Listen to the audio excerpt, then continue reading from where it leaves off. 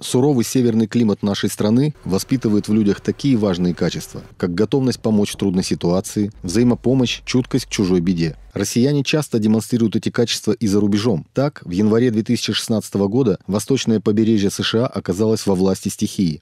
Города буквально завалило снегом, что привело к серьезным проблемам. Александр Овечкин, капитан хоккейной команды «Вашингтон», на вопрос западных журналистов, боится ли он грядущей непогоды, лаконично заметил – мы из России. Сейчас возьмем топливо для снегоуборочной машины и почистим дорожки соседям. Все равно делать нечего. То есть вы хотите помочь другим людям, потому что у вас сегодня отменилась игра? Да, может быть, немногим, вокруг дома, сто процентов. Вы волнуетесь из-за снежной Нет, мы из России, у нас постоянно такое происходит.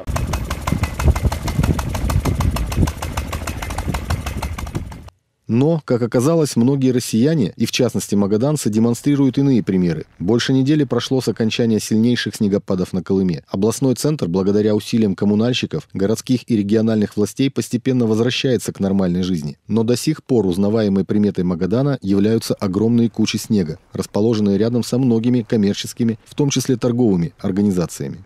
Объехав город, мы заметили, что, как правило, снежные кучи образуются там, где коммерческие организации пытаются очистить себе место для парковки. А чтобы сэкономить на вывозе снега, создаются вот такие огромные площадки для старой известной детской игры «Царь горы».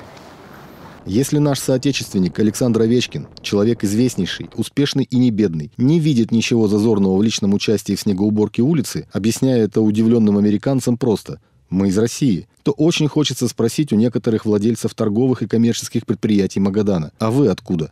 Олег Дудник, Илья Пачин, специально для Карибу.